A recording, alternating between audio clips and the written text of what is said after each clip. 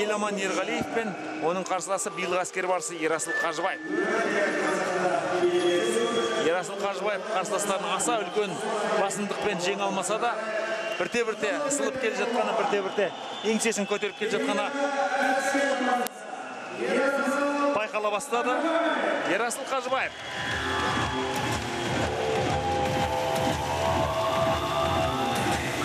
Кәдімгі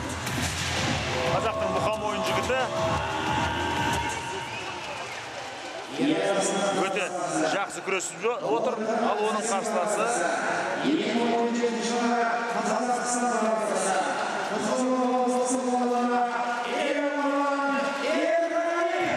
еламан ерғалиев. Қазір көк шығып отыр. Өткен жылғы қазақстан барысы. Қазір көрейік.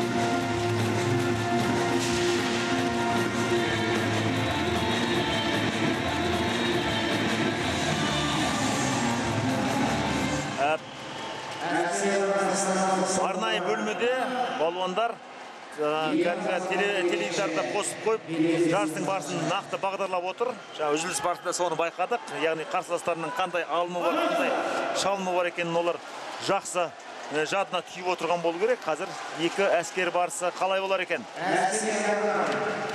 Ерасыл қажыбаев осыған дейін руслан әбдіразақовты және айдос теңгебаевты ұтты русланмен арадағы текетірес соңғы минуттарға дейін созылса теңгебаевты ол еркін жеңгенде әсер қалдырды.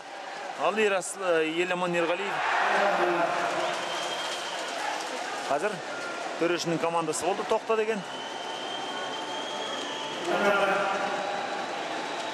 Ұпай ешкімге берілген жоқ басталу қарқыны жаман емес белдесудің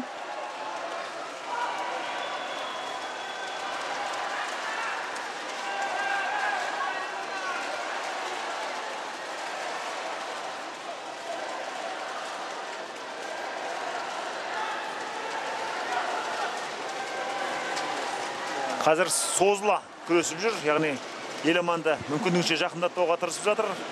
Биылғы әскер барысы бірақ өзінің әрекеті де аса өзінің шабуылы да аса жинақы емес.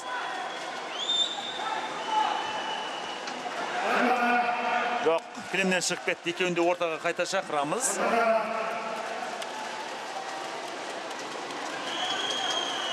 Еламан ерғалиев және ерасыл қажыбаев бүгінгі ширек финалға шыққандардың ішінде шынында да өңкей есімдері еден басталатын жігіттер жеткілікті екен. Ерсұлтан мұзафаров еламан ерғалиев ерасыл қажыбаев ержан шынкеев. Төрт бірдей жігіт бар.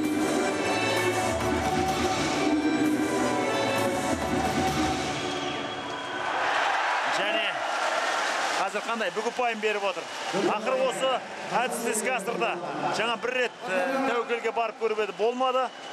Ал қазір қазір ақыры қолын тіреп тізесін жерге тигізіп ақыры жасады осыны. Ерасыл қажыбаев яғни бүк ұпайы қазір жас балуанның еншісінде. Биыл бірінші рет қатысып тұрған балуан а дегеннен жартылай финалға шықса жаман болмас дейміз. Қарсы топтан жартылай финалға шыққандардың ішінде екеуі де танымал балуан айбек нұғымаров пен ержан шынкеев ал бұл жерде қазір жартылай финалға шығу мүмкіндігі екі дебютант та бар. Яғни ерасыл қажыбаев пен ерсұлтан мұзапаров та бар. Ерсұлтан мен нұрым сәлімгереев осыдан кейін күреседі көреміз.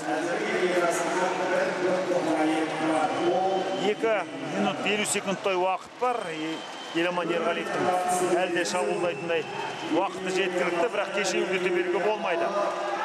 Өткен жылда еламан естеріңізде болса осылай оң жамбасын қайта қайта ыңғайлап жүріп қарсыластарын сол әдісіне жиі жиі түсірді бірақ қазір ескерту алып қалды.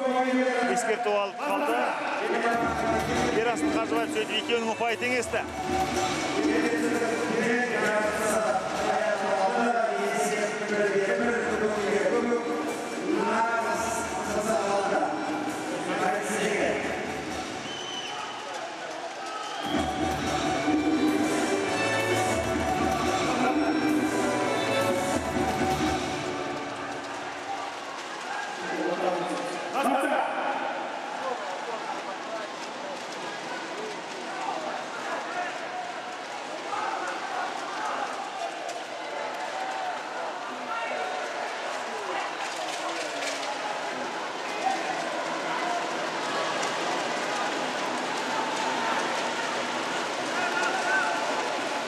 Сонымен есе екеуінің есебі тең ал қалған уақыт 2 минут.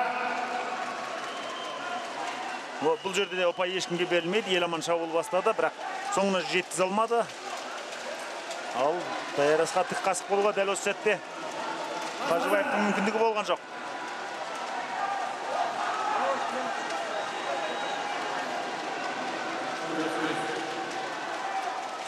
Тағы да сылбыр жүруге болмайды. Тағы да ескерту алып қалуы мүмкін. Қазір.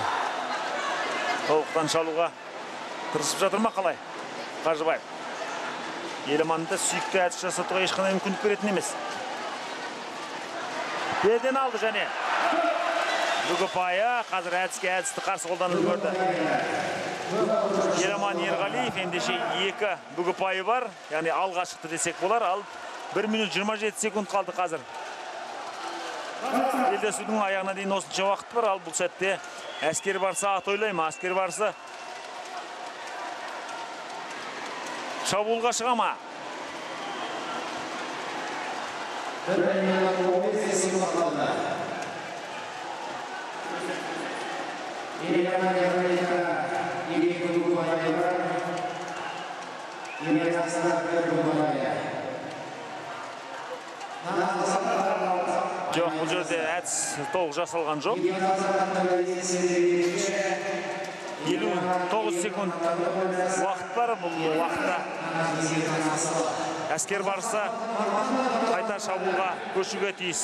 Мейлінше шабуылдауға тиіс ал еламан ерғалиев қатарынан екінші жартылай финалға жолдама алуға жақын.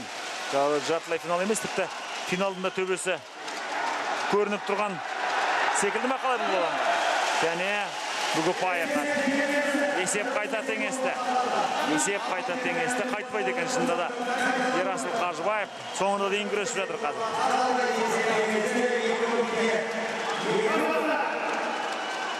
Әдетте осындай сәттерде іштей психологиялық тұрғыда жеңіліп қалатын адамдар аз емес ал бірақ мұндайлардың қатарынан болмай шықты. Әскер барысы. Бүгіп айналып үлгерді еламан айналдырып түсірді және жарты минуты бар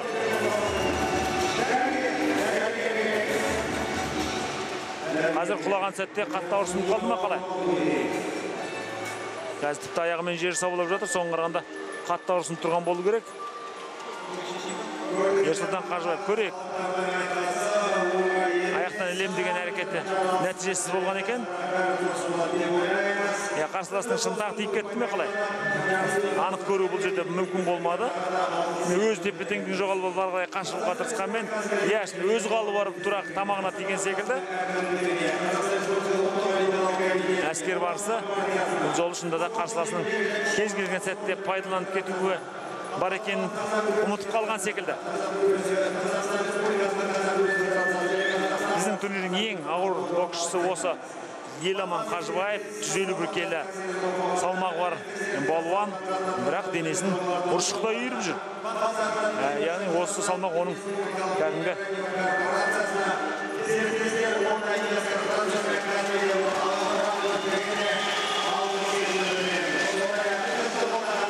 қалыпты салмақ екені білінеді.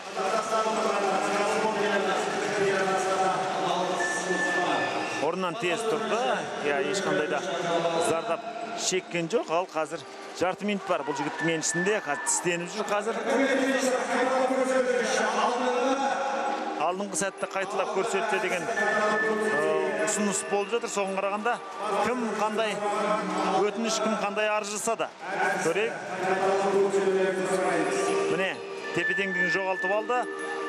Ерасыл қажыбаев ары қарай қарсыласының әдісіне түсті иә бұл жерде ешқандай да күмән жоқ қой бүгін әдіс екеніне айналдырып кеп тастаған ерғалиев қой иә дәл солай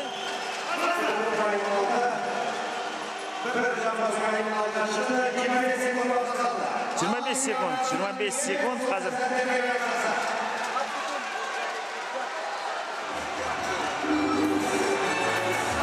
шабуылы. Жоқ бұл жерде ұпай саналмайды 13 секунд қалды. 13 секунд қалды. Қажыбаев тағы да шабуылға көшеді. Баста деген команда берді ендеше. Қалай болады? Иә ерасылға еламанға бұл ерасыл оңай қарсылас болмайтын секілді. Бұғыпай және алып үлгерді құрметті көрермендер. Есепті теңестіру соңғы соңғы секундта есепті теңестірді қазір. Ерасыл қажыбаев ендеше қоян қолтық жекпе жек қоян қолтық белдесу құрметті көрермендер. Ең соңғы секундта алып кетті шынында да жігері мықты жігіт екен шынында да әскер барысы әскери тәртіпқа тәртіпке үйренген секілді. 45 секундта кейін үлгер десең үлгереді. 45 секунд ұпай ал десең алады демек ал енді кім көбірек шаршады немесе кім көбірек психологиялық тұрғыдан мықты осыған байланысты көп нәрсе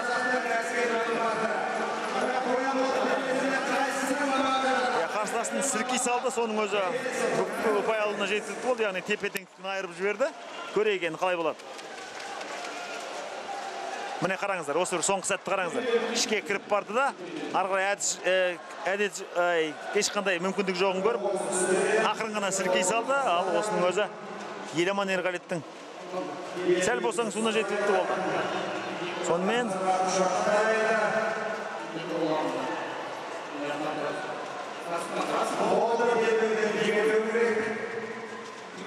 дұрыстап ұстау керек дұрыстап ұстау керек бір қол сыртта бір қол іште болу керек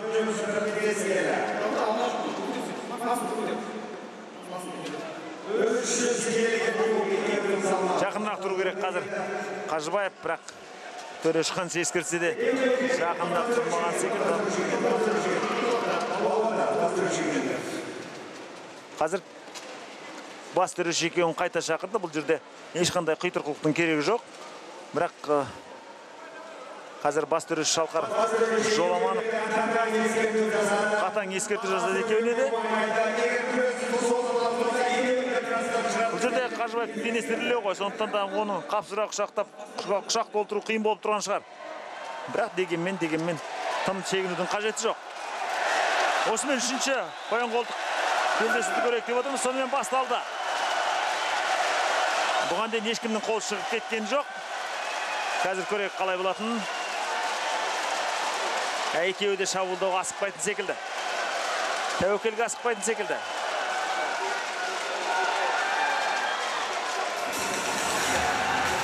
Кім шабуылдағанын аңғармай қалдық қой қазір. Екеуі де бір бірін қатар тартқан секілді. Алғаш қоян қолтық белдесу кезінде. Нұралин ә, жоқ. Қазір көрейік нұралинов пен ә, мереке тұраштың кездесуінде. Ұзақ уақыт осылай тұрып алғанын білеміз. Балуандардың ал қазір көрейік. Міне шынында да белдесуге берген 5 минуттың жартысынан көп өтіп кетті. Тіпті 3 минут өте шықты. Екі балуан да әлі шешуші қимыл жасаған жоқ тәуекел жасаған жоқ. Өйткені қатенің құны зор қалай дегенде де. Қол шығармау керек және еламан ерғалиев құрметті көрермендер қолын босатып алды енді биыл жаңа чемпион көретін секілдіміз осылайша қажыбаев қосымша уақытта жеңіске жетті бұрынғы әскер барысын жаңа әскер барысы жолдан шығарды ерасыл қажыбаев жартылай финалда иә еламан өзін ғана жазғырса керек. бір ғана қимылына дайын болмай шықты. Қараңыздар ерасылдың қуанышы бірақ оң қолы кәдімгідей ауырсынып тұр. Иә сілкіп қалған екен соның өзі. Ерасылдың қолын босатып жіберді. Сонымен